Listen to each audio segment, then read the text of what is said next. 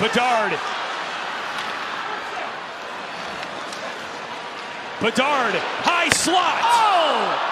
Drops down on top of the net. It's in. It's over.